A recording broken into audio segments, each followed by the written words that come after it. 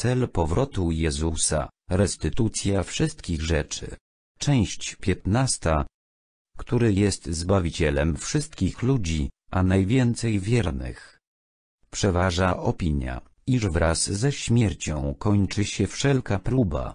Nie ma jednak wersetu Pisma Świętego, który by tego nauczał. Ponadto wszystkie wersety zacytowane w poprzednich odcinkach, oraz wiele innych, okazałyby się co najmniej bez znaczenia, gdyby śmierć była końcem wszelkiej nadziei nieświadomych rzesz ludzkich.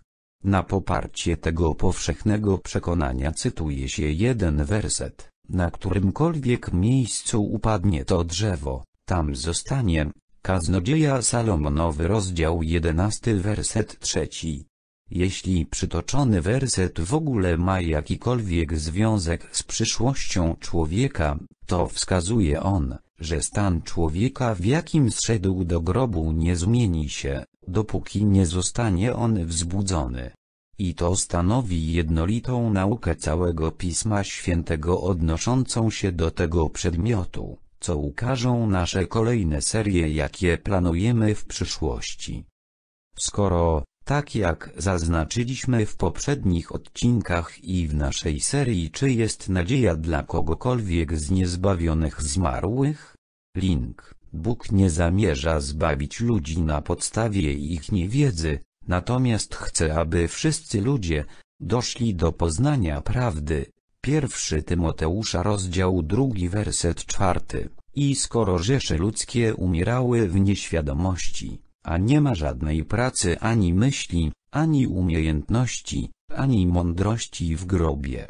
Kaznodzieja Salomonowy rozdział 9 werset 10 Dlatego Stwórca przygotował wzbudzenie umarłych w tym celu, by ludzie posiedli wiedzę, wiarę i zbawienie. Stąd jego planem jest, pierwszy Koryntów rozdział 15 wersety 22 i 23, albowiem jak w Adamie wszyscy umierają, tak też w Chrystusie wszyscy zostaną ożywieni.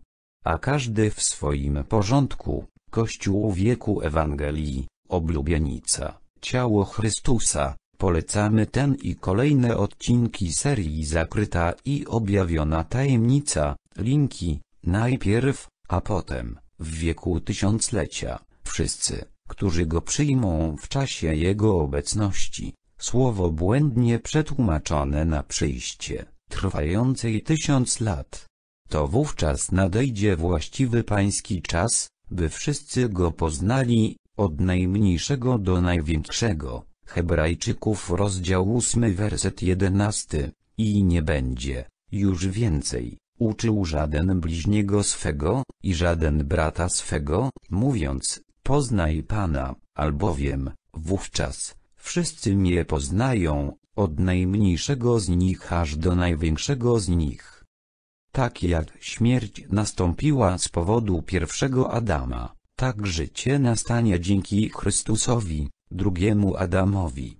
Wszystko, co ludzkość straciła będąc w pierwszym Adamie, ma zostać przywrócone tym, którzy uwierzą w drugiego Adama.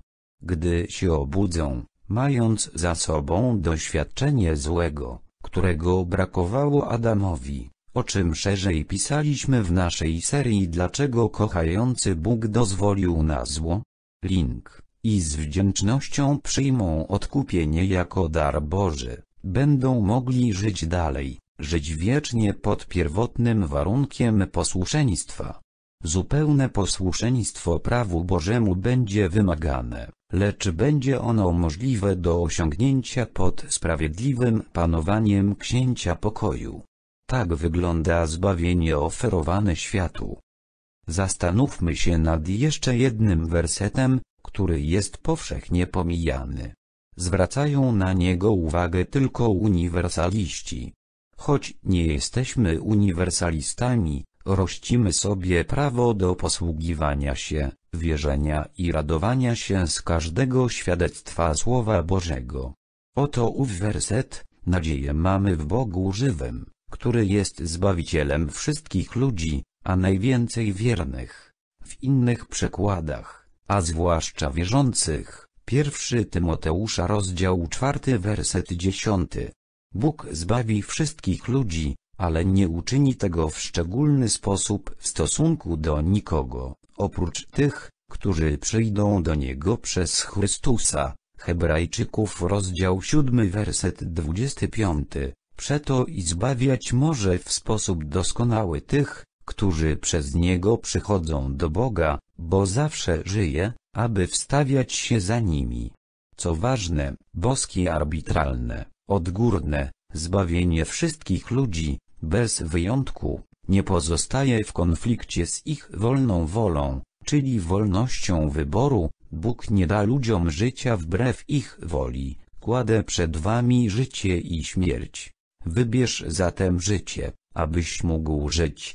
Piąta Mojżeszowa rozdział 30 werset 19 Symeon zróżnicował owe dwa zbawienia, ogólne, czy też powszechne i szczególne, czy też wyborcze, mówiąc, Ewangelia Łukasza rozdział drugi wersety od 30 do 32, oczy moje widziały zbawienie Twoje, a, światłość, która oświeci pogan, i, b, chwałę ludu Twego izraelskiego, prawdziwych Izraelitów.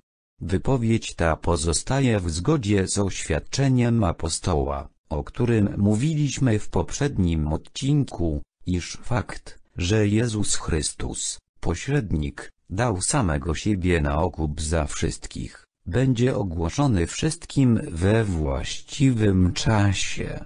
Właśnie to świadectwo dotrze do wszystkich ludzi, niezależnie od ich wiary czy woli. Ta dobra nowina o Zbawicielu, będzie dana wszystkim ludziom. Ewangelia Łukasza rozdział drugi wersety dziesiąty i jedenasty. I rzekł do nich anioł, nie bójcie się, bo oto zwiastuję wam radość wielką, która będzie udziałem wszystkiego ludu. Dziś w mieście Dawidowym narodził się wam Zbawiciel, który jest Mesjaszem, Chrystusem, Panem.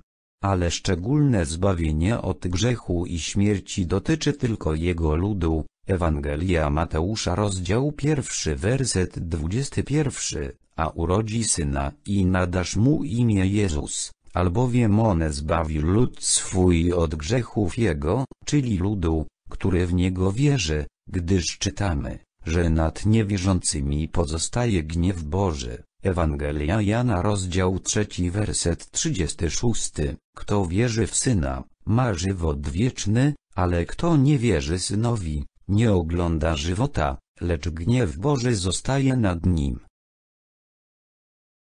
Jeżeli chcesz otrzymywać informacje o kolejnych treściach zamieszczanych na kanale, zasubskrybuj i wciśnij dzwoneczek znajdujący się obok przycisku subskrypcji. Dziękujemy też za wszystkie polubienia, udostępnienia i komentarze.